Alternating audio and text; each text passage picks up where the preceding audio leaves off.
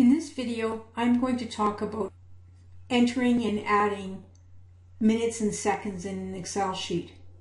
In this example, I have hours, minutes, and seconds, and the two, the two of them are here, and I'm subtracting them. And as a result, so this is just subtracting uh, this one from that one, and you do get the result of 1 minute and 20 seconds. Now, with the theory of that, what you want to do is that if you wanted to add minutes and seconds, you'd have to go through and put 0 for the hours, colon, zero, one, and 20, and then same thing for the next one, and then you could add them.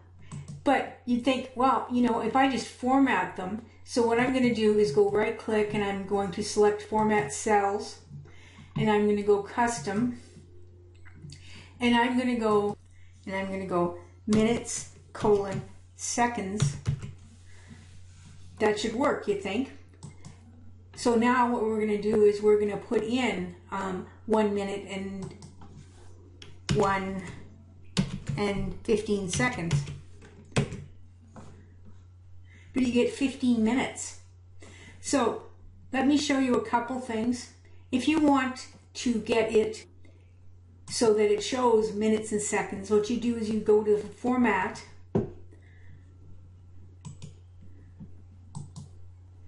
And you put in a square bracket around an M.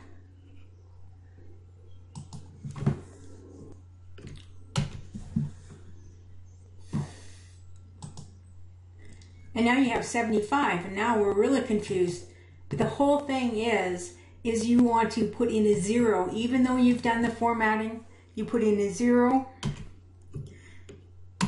and you put in a one and you put in a one five. And now you get minutes and seconds. So that's exactly how I have done that. And as you can see they will add up. Because you're putting in zero, it puts in a default hour of 12, but it doesn't affect the, uh, the, the calculations.